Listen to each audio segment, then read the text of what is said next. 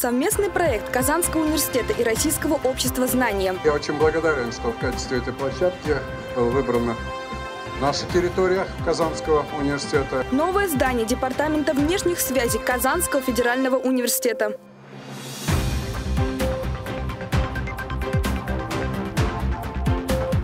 Всем привет! В эфире «Univer News», а в студии Марьям Якубова.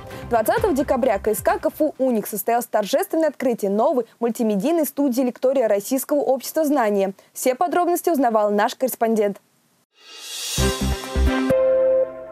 Российское общество знания теперь в Казани. В КСК КФУ «Уникс» открылась мультимедийная студия лектории. На торжественной церемонии открытия выступили ректор Казанского федерального университета Ильшат Гафуров. Я очень благодарен, что в качестве этой площадки была выбрана наша территория Казанского университета. Мы уже имеем опыт совместной плодотворной работы. И я надеюсь, сегодня стартовав, эта площадка никогда не будет пустовать генеральный директор Российского общества знания Максим Древаль. Рад вас приветствовать на открытии, открытии этой новой мультимедийной студии «Лектория» в городе Казань. Это наша третья студия. В Москве открылась летом. Совсем недавно мы открыли двери нашей студии в Сочи, и я очень рад, что в числе первых открывается студия в Казани. Заместитель министра по делам молодежи Республики Татарстан Софья Мустафина и другие приглашенные лица. Я вас поздравляю, желаю вам больших успехов, желаю вам участия здесь на постоянной основе и не только в качестве слушателя, но еще и в качестве в дальнейшем, я надеюсь, и в качестве лектора. Пользуясь случаем, генеральный директор Российского общества знаний вручил ректору Казанского университета диплом. Далее участники перерезали торжественную ленточку в честь открытия новой студии. Студия лектории начала свою работу с просветительского мероприятия «Марафон открытий», в рамках которого состоялись три панельные дискуссии. Мы, может быть, еще даже насчет какой-нибудь маленькой студии еще и здесь можем поговорить в Казанском федерале. Мы сейчас о территории нашей обсерватории, где открывается центр э, изучения дальнего и ближнего космоса, поэтому вот мы с Иваном уже ездили, смотрели эту площадку, ну и мы готовы. Спикеры также поделились успешными кейсами запуском IT-стартапов. Поговорили об инновациях в сфере образования. Вот эти студии, которые мы создаем по всей стране, студии лектории, мультимедийные центры, это способ как раз-таки, э, с одной стороны, сделать э, более доступным знания на местах в каждом уголке нашей страны, и, с другой стороны, дотянуться до самых интересных, выдающихся лекторов и дать им некий такой социальный лифт, трамплин на федеральный масштаб. Наш университет, он и по своему, по своей миссии, он должен заниматься, кроме науки, образованием, в том числе и просветительством. Причем эта функция заложена с самого начала, до основания университета в 1804 году еще. Казань уже в третий раз становится площадкой для просветительских мероприятий общества знания. Ранее трансляции майских и сентябрьских марафонов нового знания набрали более 200 миллионов просмотров. Елизавета Никитина, Фарид Захитаглы, Univer News. Руководящий состав вуза посетил обновленное здание Департамента внешних связей Казанского федерального университета. Подробнее в нашем следующем сюжете. Здесь сделано все для удобства и на сегодняшний день достаточно площадей. Вот Тимирхан Булатов сказал, что было принято решение и облагородить подвал для того, чтобы была какая-то зона Основными направлениями работы ДВС являются развитие международного сотрудничества и образование с учетом приоритетов стратегии интернационализации КФУ. Изначальная задумка состояла в том, чтобы в одном пункте иностранные студенты могли решить все вопросы, связанные с миграционным учетом, продлением виз, получением документов и справок. Собственно, здесь реализована эта концепция, концепция многофункционального центра.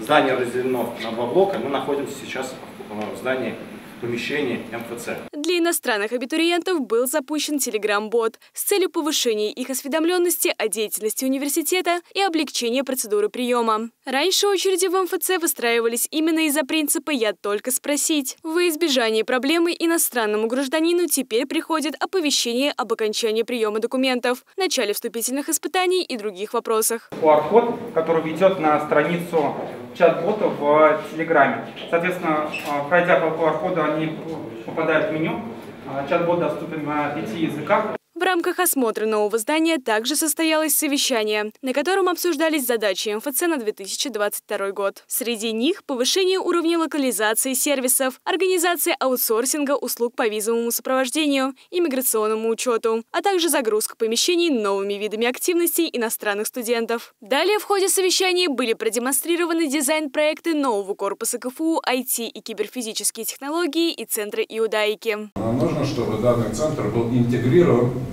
образовательный процесс.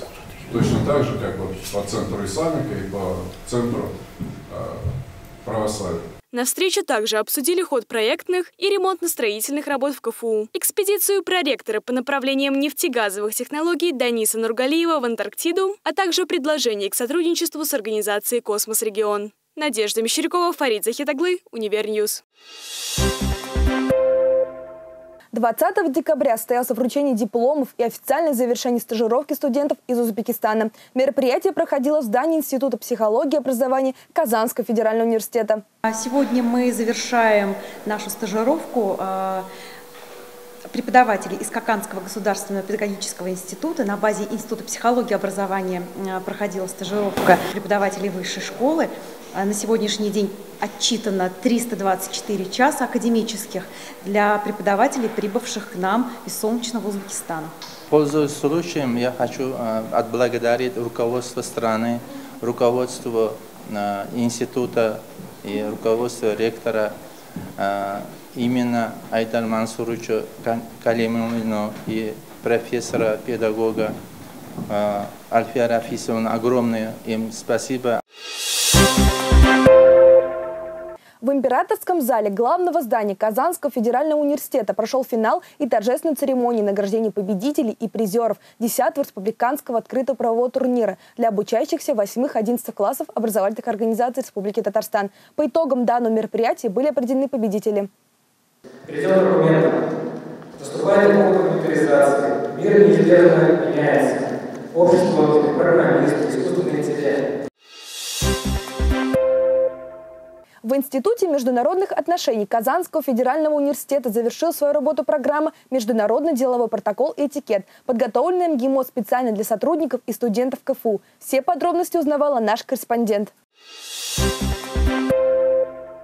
Программа повышения квалификации «Международный деловой протокол и этикет» была создана сотрудниками Московского государственного института международных отношений Министерства иностранных дел России, специально для студентов и преподавательского состава Казанского федерального университета. Напомним, бесплатная программа стартовала 16 декабря. За два дня а, наши участники, это 200 человек, это не только студенты-международники, это и студенты других направлений подготовки, таких как лингвистика, антропология, этнология, история, востоковедение, африканистика, зарубежное регионоведение, регионоведение России, а также студенты других структурных подразделений Казанского федерального университета, в том числе, вот я знаю, у нас принимают участие и а, филиалы нашего университета, и их сотрудники, и студенты, магистранты, и аспиранты. Также в программе приняли участие сотрудники департаментов по молодежной политике и внешних связей. Среди тем, которые были представлены, этикеты, протокол деловых контактов, визитные карточки и их протокольные возможности, государственная символика и другие. В связи с пандемией мероприятие прошло в гибридном формате.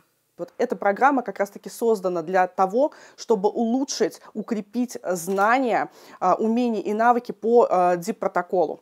И эта программа позволит нашим сотрудникам и студентам в дальнейшем получить и удостоверение о прохождении курса повышения квалификации.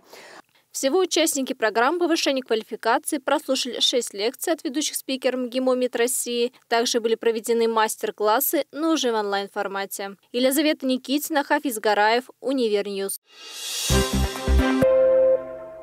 Завершился Кубок университета по мини-футболу 2021. В финале сражались Институт международных отношений, Институт управления экономики и финансов. В этой конкурентной борьбе победу удалось одержать экономистам, которые подняли заветный трофей над головами. Они стали чемпионами в 2021 году, с чем мы их, собственно, и поздравляем.